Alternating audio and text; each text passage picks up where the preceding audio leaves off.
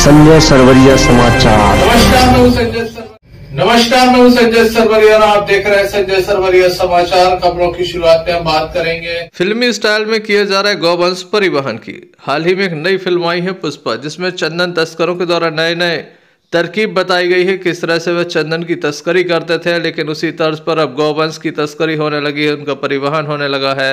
एक मामला आज सुबह सामने आया जब बजरंगियों को बीती रात से खबर थी कि एक ट्रक में गौवंश का परिवहन किया जा रहा है, जिसको लेकर वह काफ़ी सतर्क थे और इसी बीच एक ट्रक को पकड़ा गया। जैसे इस ट्रक ने दमों की सीमा में प्रवेश किया, इसे पकड़ लिया गया। इसमें पहले आलू लोड थे और नीचे गौवंश था। अठारह से अधिक गौवंश था। झांसी से जबलपुर ले जाया जा रहा था। ट्रक चालक मौके से फरार हो गया है। वही इस ट्रक को जब्त करा दिया गया है। पुलिस के हवाले करा दिया गया है। आलू ऊपर से लोड था, अंदर गौवंश था। आप समझ सकते हैं किस तरह से गौ तस्करों के द्वारा गौ परिवहन किया जा रहा है ताकि लोगों की नज़र में धूल झोंकी जा सके और इस ट्रक से गौवंश को एक स्थान से दूसरे स्थान पर ले जाया जा सके। लेकिन बजरंगियों की नज़र से यह नहीं बच सका। छुट्टू यादव, राघवेंद्र सिंह ठाकुर एवं शिवशंकर पटेल मौके पर थे, जिनके द्वारा इसे पकड़ लिया गया है। पुलिस के सुपुर्द कर दिया गया है और अब पुलिस आगे की कार्रवाई करेगी। लेकिन इतना ज़रूर है कि फ़िल्म देख देख के गौ तस्करों के मन में किस तरह से नए नए ख्याल आते हैं। हालाँकि उनके जितने भी मंसूबे थे, उस पर बजरंग दल के द्वारा पानी फेर दिया गया है। नगर संयोजक छुट्टू यादव के द्वारा पूरी टीम लगाई गई थी और उसके चलते एक गोवंश से भरा हुआ ट्रक पकड़ा गया।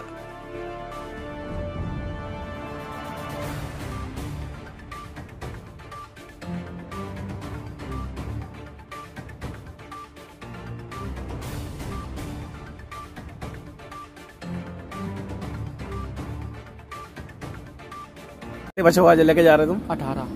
कहाँ से लेके आ रहे है ये? जी हम लेके आए हैं झांसी। झांसी से लेके आ रहे हो? वंश का ट्रक है और ऐसी सूचना मिली थी कि ये बाहर से ट्रक आ रहा है।